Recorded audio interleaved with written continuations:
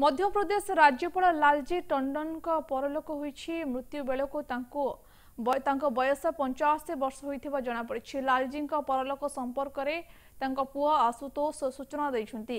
Lalji June ଏଗାର ତାରିଖ ଦିନ ନିଶ୍ୱାସ ପ୍ରଶ୍ୱାସ ନେବାରେ ଅସୁବିଧା ଅନୁଭବ କରିଥିଲେ। ପରେ ତାଙ୍କୁ ଲକ୍ଷ୍ନୌର ମେଦାନ୍ତ ହସ୍ପିଟାଲରେ ଭର୍ତ୍ତି କରାଯାଇଥିଲା।